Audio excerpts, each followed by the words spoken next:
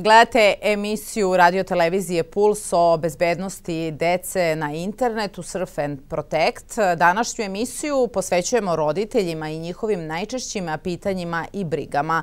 Sa nama je i danas ekspertkinja u ovoj oblasti Katarina Jonev. Katarina, dobar dan. Dobar dan, veliki pozdrav vama i veliki pozdrav svim vašim gledalacima. Za početak, ukratko nam recite šta jeste, a šta nije nasilje na internetu, gde je granica između šale, igre i zbilje sa opasnim posledicama. Deca su jako često nesvesna zapravo da svojim ponašanjem na internetu i ponašanjem prema drugim svojim vršnjacima mogu da nanesu bol. I jako često se kriju čak i za tih pozdina, pa samo sam se šalio, pa nisam ništa loše mislio, a posljedice su nažalost sve katastrofalnije. Kada pričamo o digitalnom nasilju među vršnjacima, ono je zaista uzelo maha i ovo jeste trenutno najrasprostranjeniji vid nasilja među decom, među mladima. Ostali smo po strani i psihičko i fizičko, čak i seksualno nasilje i prosto danas u ovoj digitalizaciji svega digitalno nasilje među vršnjacima jeste uzelo maha. I sve su neke procene da je zapravo svako četvrto ili svako peto dete doživjelo neku neprijatnost na internetu upravo od svojih vršnjaka. Šta se spada u tu, po znacima navoda, dečiju igru, a to je sve samo ne dečija igra? Omalovožavanje, širenje neistinitih vesti, uh, ugrožavanje identiteta, kačenje fotografija neprimerenih, osnivanje Viber grupa ili profila koji imaju za cilj ponižavanje deteta, vređanje, pretnje, ucene, uh, sve to uh, možda nekome može izgledati da je igra, ali ponavljam, ona u trenutka kada žrtva oseti bol, a u 99% situacija oseti, moramo da reagujemo. Ne smemo prosto dozvoliti da se tako ponašanje uh, ne sankcioniše. Nasilnici moraju da znaju da svaka njihova reč koja je izgovorena na internetu tamo ostaje i da svojim ponašanjem i nekako željom da se pokažu da su glavni u društvu, da su heroji, da su mnogo bitni, ne smeju to da rade na uštrb sigurnosti, bezbednosti, integriteta, poverenja drugog deteta. U kom uzrastu se najčešće dešava nasilje nad decom na internetu? Ne postoje pravila iz prostog razloga da dete kada prvi put uđe u tu digitalnu sferu, pa na primjer posredstvom igranja video igrica na Robloxu, tamo su komunikacije u chat porukama između ostalog sa nepoznatim ljudima, što sa njihovim vršnjacima, što sa mnogo starijim ljudima. I tamo već dečaci prvi put se susreću sa nečim što se zove digitalno nasilje to u, prosto u žaru igrice, u žaru borbe, a i prosto zato što prosto neka deca jesu ispunjena tugom i bolom u svom životu i traže pažnju upravo na ovaj način. Jako često nekontrolisano se usredsrede na jednu žrtvu kroz jako ružne i pogrdne reči, kroz pretnje, kroz uscene i ono čuveno, ali znam gde ti živiš, locirao sam te, doći ću i prebiću te. Tako da se deca već u jako ranom uzrastu, kažem, susreću sa tim nekim prvim naletom digitalnog nasilja kako koriste više i više digitalne platforme, uključujući pre svega Viber.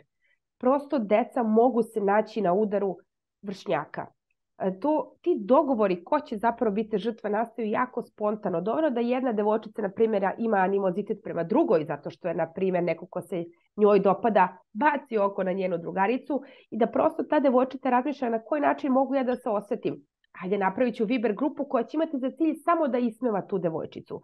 Tako da je Viber jedno jako, e, nažalost, aktivno mesto gde se i tekako digitalno nasilje dešava. Prosto učenici jesu usmereni na ovu platformu zarad lakše komunikacije, zarad ispunjenja nekih školskih obaveza koje imaju. Međutim, jako često se tu zaista prelazi granica da se šalju jako neprimereni sadržaji, da se da su na takav način deca izložena sadržaju koji je neadekvatan za njihove godine, ali takođe i su, e, su na udaru direktno pogrdnih reči, psovki, vređanja, omalovažavanja i tome slično. O društvenim mrežama, Instagram, TikTok, pa čak i Facebook i Snapchat, tamo je tek, nažalost, prisutno upravo to negativno ponašanje. I deca jako često zapravo koriste internet kao oružje za nanošenje boli, a ne kao oruđe koje treba da im olakša život, koje treba da im da znanje, koje treba da im otvori neke nove vidike. Uz tu onu čuvenu rečenicu, ali svi su tamo, ali svi to rade, deca nekako e, pokušavaju da, uslovno rečeno, skinu se sebe tu ljagu da su nasilnici. Ono što nasilnicima, pogotovo u tom nekom pubertetskom periodu, predstavlja možda zaleđinu ili možda daje dodatnu hrabrost, da neustrašivo šire mržnju na internetu, jeste taj što zapravo nemaju razinu koncept privatnosti, ne shvataju da koliko god postoji anonimnost na internetu, daleko toga da se profili ne mogu locirati, da se ne može otkriti ko je zapravo osoba koja stoji sa druge strane interneta. I ono što jeste negde krucijalno, deca danas jako često imaju problem sa empatijom. A to znači da ne mogu u oči da pogledaju osobu koju nanose bol. I prosto nastavit će upravo jer ne, raz, ne shvataju kakvu bol nanosi drugoj strani. Kako prepoznati kod deteta prve simptome da trpi digitalno nasilje? Uvek upozoravamo roditelji, više puta smo kroz ovu emisiju upozorili da kada krenu da primećuju promene u ponašanju svog deteta, da ne prepisuju to automatski pubertetu i tineđerskim godinama. Prosto deca kada provode, a jako puno vremena provode u tom virtualnom svetu, pričamo o vremenskom periodu među 7 i 9 sati dnevno, prosto negde normalno i očekivati će neće nešto što može da promeni njihovo ponašanje, da nešto što može da ih uplaši, da ih zbuni, jer prosto takve stvari su tekako prisutne na internetu na društvenim mrežama. Promene ponašanja koje roditelj mora prosto da primeti jeste anksioznost, depresija, uznemirenost. Ako dete ranije želelo da bude u tom virtualnom svetu, sada će bežati. Sakrivaće od roditelja laptop, računar, tablet, uh, mobilni telefon. Zatvorit će se u sebe. Doći će do poremećaja u uh, hrani, kada će dete uzimati obroke, kada ne doći do poremećaja u snu. Dete će biti osetljivo na zvuke, a takođe će se njegovo takvo stanje odraziti na uspeh u školi, dete će krenuti da popušta u školi, prijatelji sa kojima se ranije družio ili družila će prosto negde biti po strani, neće dete želiti da bude toliko aktivno, niti komunikativno, niti otvoreno. I negde najbitniji segment jeste kada dete zapravo nas, roditelji, isključuje iz svog života. Što znači da odbija pitanja, da odbija komunikaciju, da se zaista zatvara u sebe. To treba da nam bude prvi, prvi alarm da se sa detetom nešto dešava i da je potencijalno uzrok tome jeste neprilično ponašanje druge strane na internetu usmereno ka vašem detetu. Koje su najčešće posledice tog oblika nasilja nad decom? Mediji prenose da postoje i fatalni slučajevi. Posledice mogu zaista biti kobne. Mi smo u Srbiji imali zabeležene slučajeve, nažalost, i, i pokušaje samobistava i samobistava upravo jer deca ne mogu da se izbore sa tom količinom mržnje koja može da dođe sa interneta. Samo povređivanje je takođe nešto što je sve prisutno na našim prostorima, jer deca, nažalost, misle da su sama. I to je nešto što je zapravo najveći problem koji kada je reč o digitalnom nasilju mi moramo da pokušamo da ga suzbijemo i da prosto ojačamo decu da nam se otvore i da nam na, zatraže pomoć. Zašto kažem da su posljedice toliko kobne i zašto kažem da deca misle da su sama? Zato što imaju strah od nas. Imaju strah kako ćemo mi reagovati, da li ćemo umeti da im pomognemo. Plaše se možda ako su radili nešto, na primjer postali fotografiju da su nagi ili su napisali nešto što može potencijalno biti zlopotrebno protiv njih, plaše se prosto da će se pročuti za to i plaše se kazne. Znate, deca ne treba da nas se plaše. Deca u nama treba da vide najjače i najveće saveznike i moraju da znaju da smo mi tu za njih u svakom trutku šta god oni uradili, da imaju našu podršku. A mi uvek treba da zapravo budemo otvoreni za dečija pitanja, za dečije nerazumevanja toga što se dešava i moramo stalno, stalno, stalno komunicirati sa njima. Ne treba prećutati, ne treba gurati stvari pod tepih i ne treba ohrabrivati dete da tako nešto učini, nego upravo da se tako nešto prijavi. Prijavom nasilnika u digitalnom prostoru vi štitite vaše dete, ali štitite veliki broj druge dece, jer nasilnici jako redko se usresede samo na jednu žrtvu. Tek kada nju dovede onako do, do, do ivice onda će se fokusirati na nekoga drugog. I taj lanac onda konstantno nastavlja, a moramo ga zaustaviti.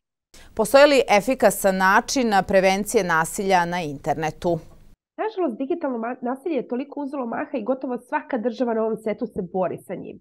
Od govora mržnje nas starijih, mudrijih, zrelijih koji treba prosto, na nas treba deca se ugledaju kako treba da se ponašamo na internetu, ali i mi negde, nažalost, svoje i frustracije i svoj bes i svoju tugu i te kako ispoljavamo na internetu. Deca kada to vide, deca misle da to, nažalost, normalno i prihvatljivo ponašanje, a to ne sme biti takva situacija ne postoji jedan mehanizam koji bi mogao u potpunosti da kažemo da je efikasan. prosto kažem, svaka država se bori na različiti način, ali prevencija jeste nešto što je krucijalan ključ u našim rukama. A prevencija jeste i pravilna edukacija. Samo pravilnom edukacijom možemo našu decu da zaštitimo u virtualnom prostoru. Šta roditelji treba da urade kada uoče neki od e, simptoma? Prvo moraju da obave razgovor sa svojim detetom. Na miran način. Bez ružnih reči, bez ljutnje, bez besa.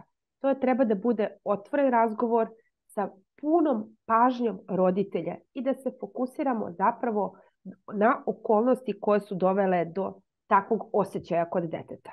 Ne postoji inkvizicija, na nju zaboravite, to će dete samo dodatno da zatvori u sebe, a vama to nije potrebno.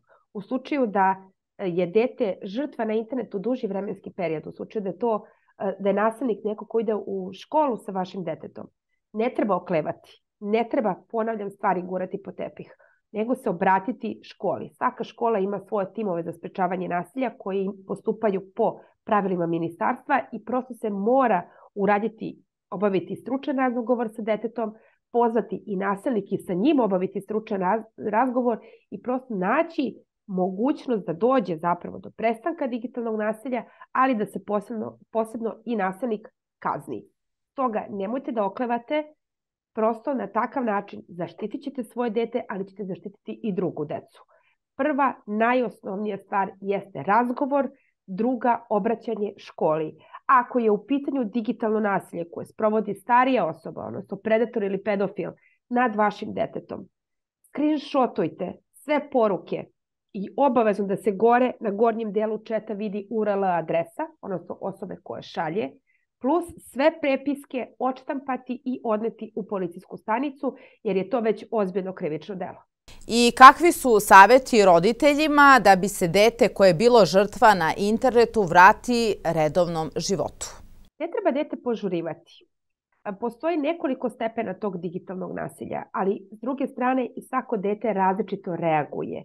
Neko dete je senzibilnije, drugo dete je možda mentalno jače, ali prosto treba detetu dati vreme.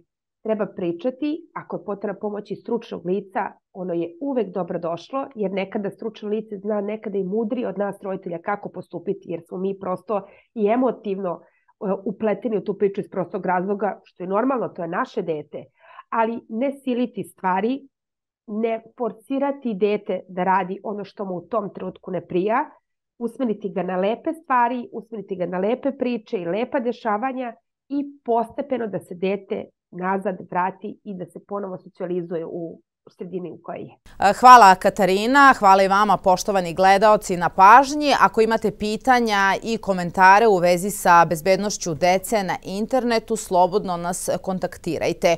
Ovu i druge naše emisije možete lako pronaći na našem sajtu rtvpuls.com. Приятно.